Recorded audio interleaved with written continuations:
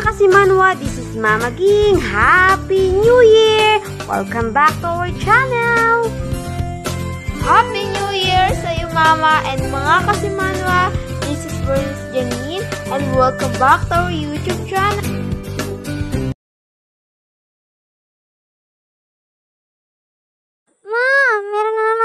Sasagutin na isang katanungan ah, tungkol sa isang subscriber natin na nagtatanong tungkol sa finisher. Bawal daw ba talaga ang finisher sa mga gawing inahin? Gaano po ito makatotoo? So, ito yung kanyang katanungan, ma. Bakit po ba bawat pakainin ng finisher feeds ang gagawing inahing baboy?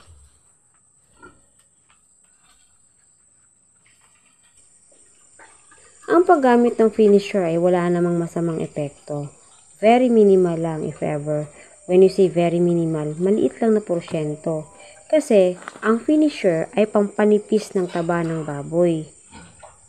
Kapag manipis ang taba ng baboy, hindi siya ideal na gagawing inahin. Later, i-discuss ko kung bakit isa-isahin kong i-discuss sa inyo. If ever man nagamitan natin ng finisher, ang gagawin nating inahin o dumalaga, happy pwede natin siya, na, na pwede naman natin siyang i-change doon sa gestating. Kasi ang gestating ay ah, para talaga sa dumalaga at ah, pangkondisyon para sa gagawing inahin. Ano nga ba ang epekto ng finisher feeds kapag napakain na ang dumalaga or gagawing inahin? Ang finisher kasi ay pampabigat. Based on my experience, two weeks ako bago mag-dispose ng aking mga fattener, ay um, pinapakain ko sila ng ah, finisher. Before, hindi ko po ginagawa yan. May talagang may, nag, may nag-advise lang sa akin ng mga nagbababoy din dito, yung mga matatagal na talaga, na itry mo ko, itry ko mag-finisher kasi basta para lalong bumigat at makabawi-bawi naman kasi ang mahal ng feeds at saka ang live napakababa. So, yun na discover ko na ang advantage niya is um, almost 5 kilos ang nadadagdag. So, 'di ba? Ang laking bagay ng 5 kilos. So, compare ko noon na nagdi-dispose ako, na grower la, puro grower lang ako, 5 kilos talaga ang nadadagdag. O, 'di ba? Kahit saan po ako nagtanong, maraming nagbababoy po dito sa lugar namin. Yan po yung advice talaga sa akin. The function of finisher feeds kasi sa katawan ng ating mga fattener is to cleanse the whole body of our alagang baboy. So, ang meat, ah, ang timbang, ah, na-mention ko na kanina ang pagdagdag ng timbang. So, sa meat naman, nagiging presentable ang karne ng baboy. Kumbaga, hindi siya maputla. At the most important is, hindi makapal ang taba ng baboy.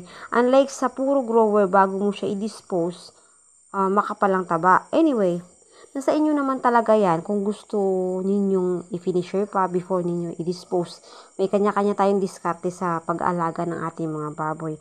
Ang sa akin lang, I'm just sharing my knowledge at saka I'm just sharing my uh, may uh, experience para naman na mai-apply nyo rin sa inyo. Kasi malaking tulong talaga ang pagpapakain nito. Anyways, nasa feeding guide naman kasi talaga ang finisher.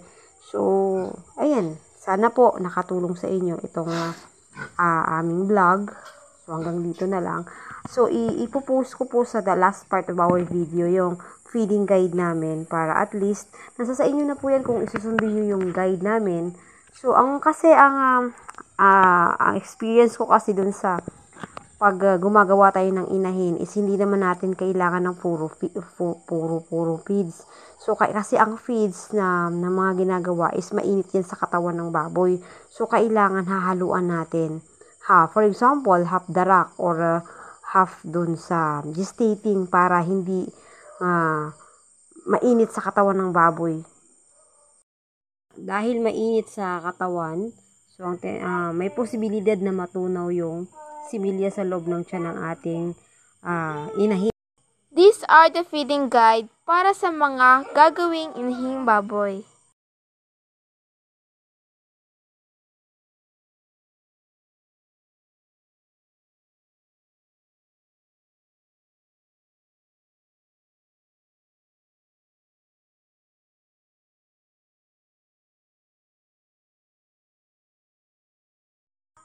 Hanggang dito na lang po guys. Sana may naitulong tong video na ito. At bago tayo magtapos, don't forget to subscribe, like this video, and click notification bell para updated kayo sa mga videos namin. And don't forget to comment below. Bye-bye!